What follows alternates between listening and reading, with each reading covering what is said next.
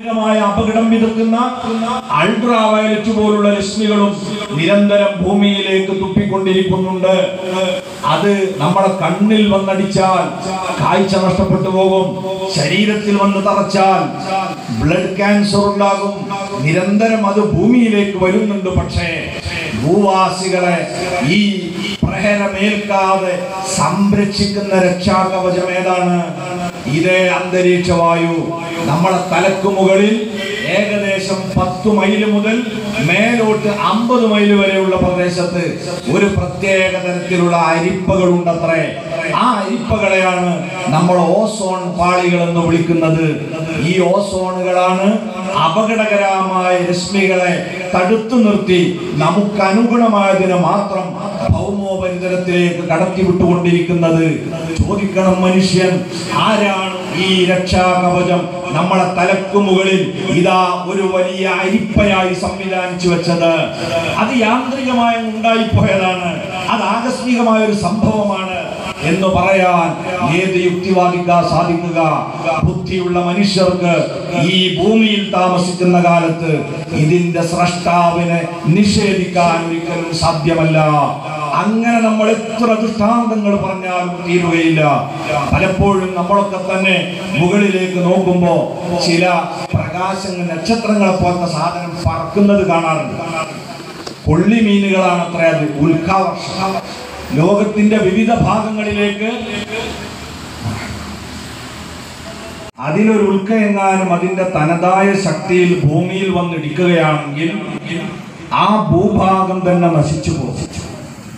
എന്നാൽ ഈ ഉൽക്കകളെ പ്രതിരോധിച്ച് തകർക്കുന്ന പ്രതിരോധ മിസൈൽ ഏതാണ് നമ്മൾ ഈ പരിചയപ്പെട്ട അന്തരീക്ഷ വായു തന്നെ നമ്മുടെ തലക്കു മുകളിൽ അറുന്നൂറ് നായിക ഉയരത്തിൽ നിന്ന് വായുവിനെ കീറി മുറിച്ച് നമ്മളെ മൂർത്താവ് ലക്ഷ്യം വെച്ച് ഊർന്നിറങ്ങുമ്പോൾ അന്തരീക്ഷ വായുവുമായുള്ള ഘർഷണത്തിൽ ഉരസി അതിന് തീപിടിക്കുകയാണ്. അതായത് നമ്മളിങ്ങനെ കത്തുന്നതായിട്ട് കാണുന്നത്. എത്ര വലിയ ഉൽക്കയാണെങ്കിലും നമ്മളെ തലക്കു മുകളിൽ അമ്പത് മൈൽ ഉയരത്തിലെത്തുമ്പോഴേക്ക് അത് ചാരമായി മാറിയിട്ടില്ല.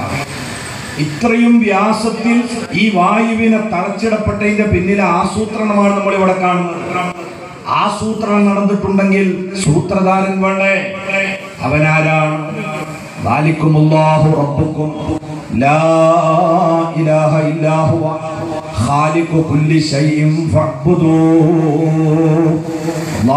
ഖുർആൻ പറയുന്നു അവനാണ് നിങ്ങളുടെ റബ്ബ്. അവനല്ലാതെ ഒരു ആരാധ്യനില്ല ഖാലിഖു കുല്ലി ശൈഇൻ സർവ ചരാചരങ്ങളെയും അവനാണ് സൃഷ്ടിച്ചത്.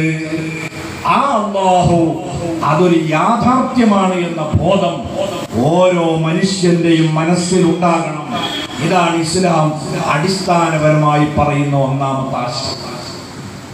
ആ സൃഷ്ടാവായ അള്ളാഹുവിനെ അല്ലാതെ ആരാധനകൾ അർപ്പിക്കുക എന്നത് പാടുള്ളതല്ല. എന്തുകൊണ്ട്?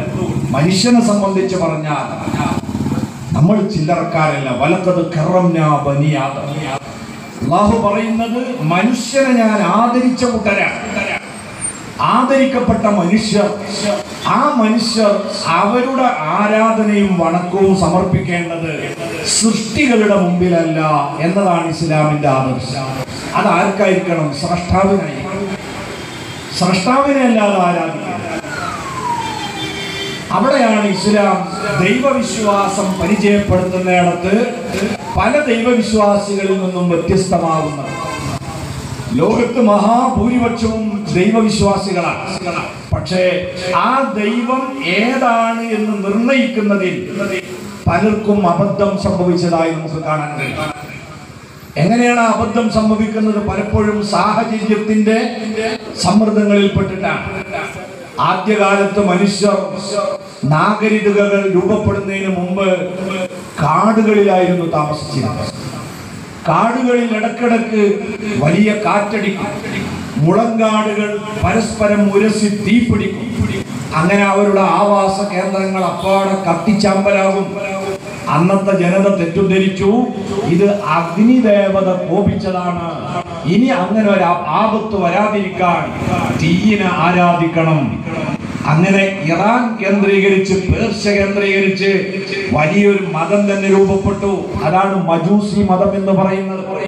മുഹമ്മദ് മുസ്തഫ വസല്ലം തങ്ങൾ ശരിയായ പ്രപഞ്ചാധിപൻ ആരാണെന്ന് പരിചയപ്പെടുത്താൻ നിയോഗിക്കപ്പെട്ട നബിയാണല്ലോ.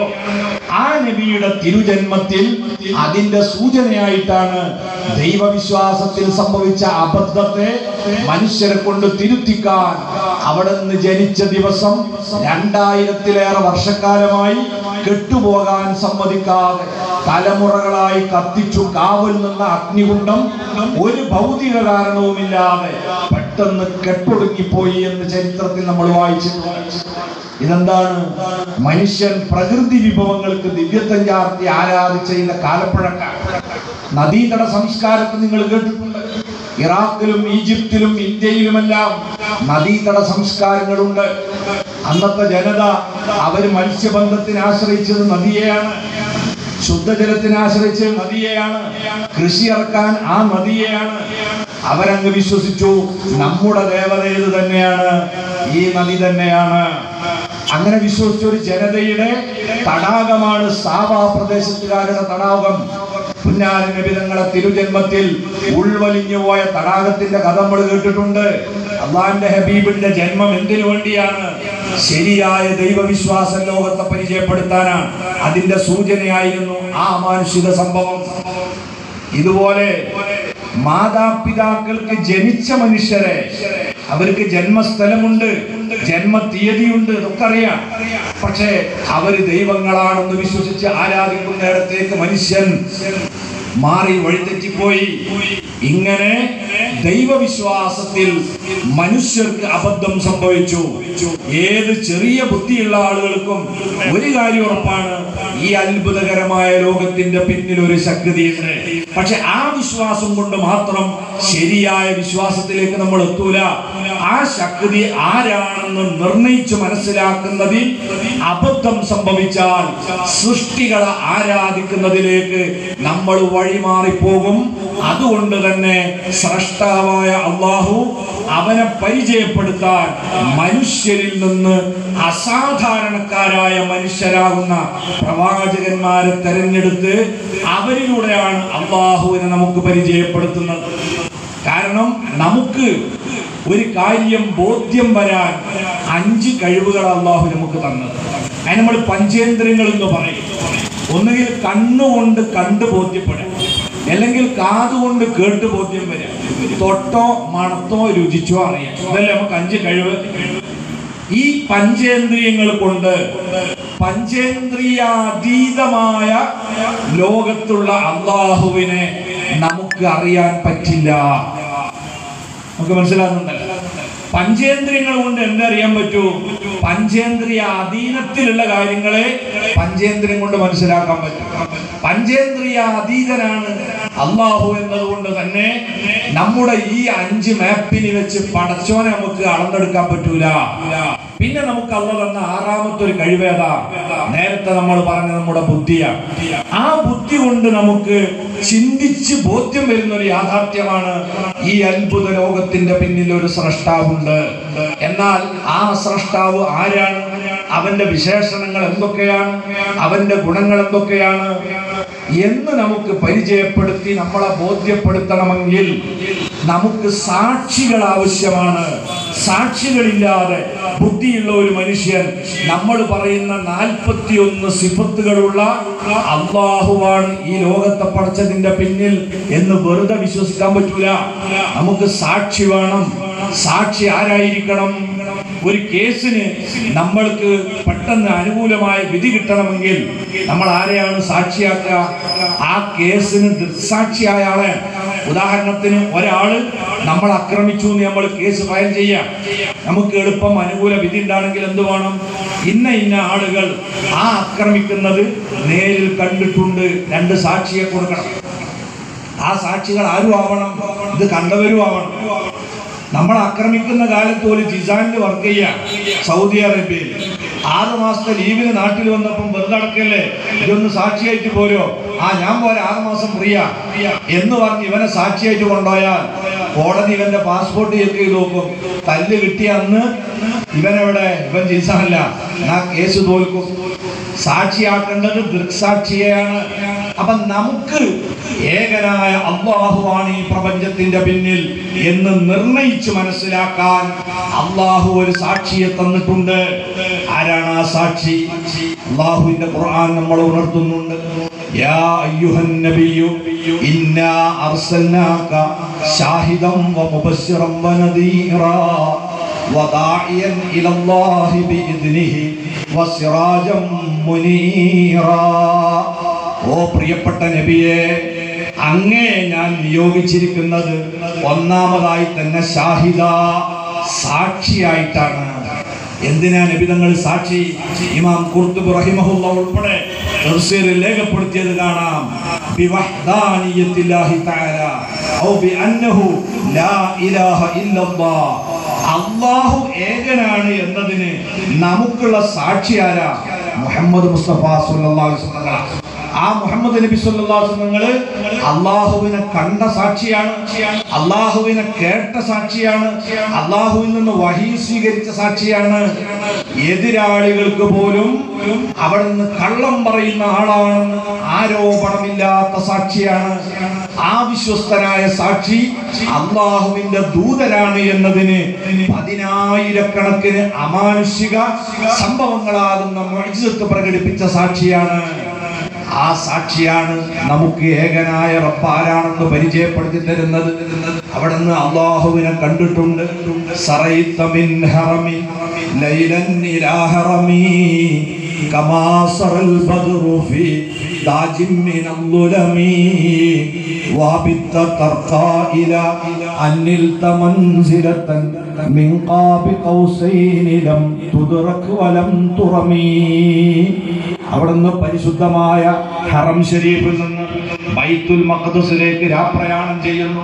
തുടർന്ന് സപ്താകാശങ്ങൾ താണ്ടിക്കടന്നു സിദറത്തുൽ മുന്തഹ കയറി ബഹറുന്നൂറിലൂടെ സഞ്ചരിച്ച് ചെന്ന് യജമാനനായ റബ്ബ് നിശ്ചയിച്ച സ്ഥലത്ത് മുത്തുനബിയെ നിർത്തി നബിതങ്ങളുമായി അഭിമുഖം നടത്തുന്നു. ആ സമയത്ത് ഫൗഹ ഇലാ അബ്ദിഹി മാ ഔഹ. എല്ലാ സന്ദേശങ്ങളും അവിടത്തേക്ക് കൈമാറി പടച്ചവനെ കണ്ട് വഹി സ്വീകരിച്ച സാക്ഷിയാണ് മുഹമ്മദ് മുസ്തഫ സല്ലല്ലാഹു അലൈഹി വസല്ലം. ആ നബി മുഖേനയാണ് നമ്മൾ ആരെ അറിഞ്ഞത്? അള്ളാഹുവിനെ അറിഞ്ഞത്. അതുകൊണ്ട് തന്നെ ഒരാൾ ഏകദൈവ വിശ്വാസിയാവാൻ അല്ലാഹുവല്ലാതെ ഒരാരാധ്യനുമില്ല എന്ന് മാത്രം വിശ്വസിച്ചാൽ പോരാ. എന്നുകൂടി വിശ്വസിക്കണം. കാരണം നമുക്ക് അള്ളാനെ പരിചയപ്പെടുത്തിയത് ആരാ? മുത്തുനബിയാണ് ആ നബി മുഖേന അല്ലാതെ ഈ അള്ളാഹുവിനെ അറിയാൻ നമുക്ക് വേറെ മാർഗമല്ല അവിടെ നിന്നാണ് ആ സാക്ഷി. ഇതുകൊണ്ട് മുസ്ലിം ആവാൻ അഷ്ഹദു ഇലാഹ വഅഷ്ഹദു അന്ന മുഹമ്മദർ എന്ന് ചൊല്ലണം എന്ന് പറഞ്ഞു. ഇനി നമ്മളെ എല്ലാ കാര്യത്തിനും സാക്ഷി മുത്തുനബിയാണ് നമ്മളെ രണ്ടാമത്തെ വിശ്വാസം ഏതാ? മലക്കുകളിലുള്ള വിശ്വാസം അല്ലേ? മലക്കുകൾ എന്ന വിഭാഗം ഉണ്ടോ എന്നൊരു സംശയം നമ്മളെ മനസ്സിൽ കയറിയാൽ നമ്മളെ ഈമാന്റെ വേരുണങ്ങി. കാരണം എന്താ? നമ്മൾ ഉയർത്തിപ്പിടിക്കുന്ന പരിശുദ്ധ ഖുർആാനടക്കം നമ്മളിലേക്ക് വന്ന വഴി ഏതാ? ഈ മലക്കുകളാണ്. പക്ഷേ മലക്കുകൾ ഏത് സൃഷ്ടികളാ? പഞ്ചേന്ദ്രിയാതീതരായ സൃഷ്ടികളാ. സാധാരണ മനുഷ്യന്റെ പഞ്ചേന്ദ്രിയങ്ങൾക്ക് ഗോചരിപ്പിക്കുന്നവരല്ല വിധേയരല്ല മാലാകമാർ പിന്നെ ജിബിലി അലൈഹി ഇസ്ലാം ഉണ്ട് എന്ന് നമ്മൾ വിശ്വസിക്കുന്നത് എന്ത് തെളിവിന്റെ അടിസ്ഥാനത്തിലാ? ആരാ നമ്മളോട് പറഞ്ഞത്? ആരാ കണ്ട സാക്ഷി? ഫലഖദ് റആഹു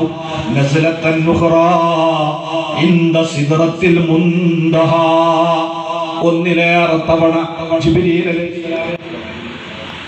അല്ലാഹ്